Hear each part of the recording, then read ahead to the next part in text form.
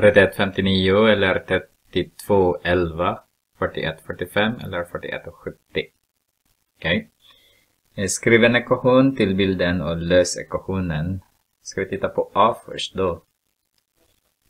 Vi A ser vi att det är hela 59 men vi har 29.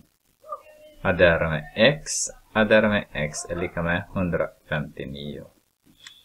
Då har vi 29 addera med 2x är lika med 159. Om vi dividerar, subtraherar båda led med 29 så har vi 2x är lika med 130.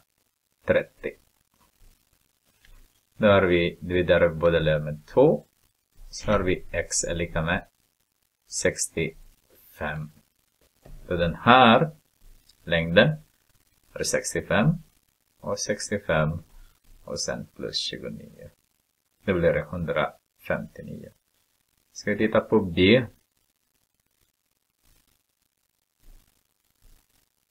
Så har vi på ena sida, vänster sida, så har vi 70.